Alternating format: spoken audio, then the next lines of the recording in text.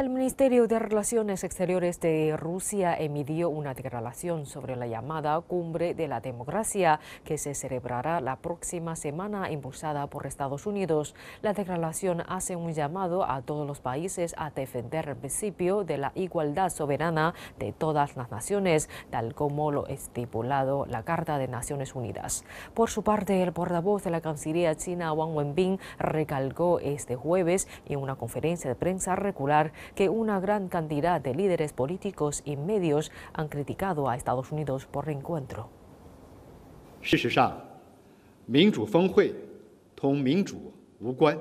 De hecho, la cumbre no tiene relación alguna con la democracia. Lo que está haciendo es socavar la democracia en su nombre.